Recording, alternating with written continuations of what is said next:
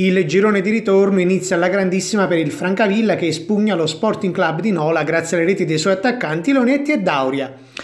Lazic lascia in panchina Mattias Grandis preferendogli la Vopa, così come tornano titolari Morales dopo lungo infortunio e Giordano.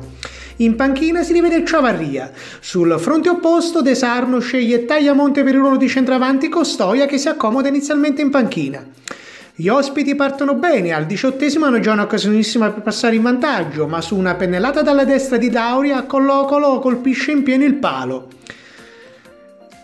La risposta dei Bruniani arriva due minuti dopo con il capitano Vaccaro che conclude alto. Al ventisesimo traversone di Anzalone all'indirizzo di Esposito che da dentro Lauria ci prova al volo ma manda fuori. Al 33 nuovo tentativo di Vaccaro su punizione che esce di poco.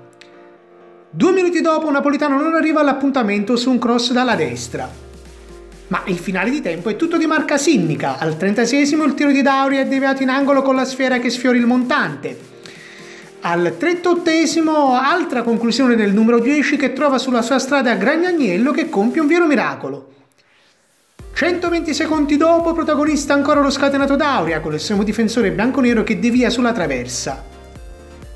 Ma allo scadere i Lucani sbloccano il risultato, gran numero di Ragone che pettina il pallone mandando al bar Lipiello e serve Leonetti che deve solo spingere in rete. Si va a riposo con i Lucani meritatamente in vantaggio.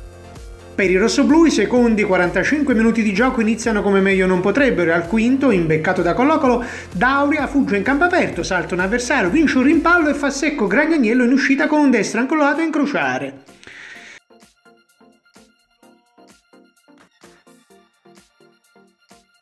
Ma al 22esimo il Nola accorcia le distanze con il subentrato classe 98 Stoia che, sul lancio di Danne, insacca dopo aver resistito all'intervento di Di Giorgio segnando una rete di pregevolissima fattura.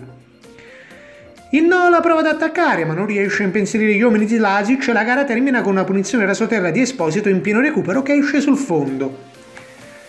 Con questo successo il Francavilla sale in settima posizione a quota 26 e si colloca a soli due punti dalla zona playoff.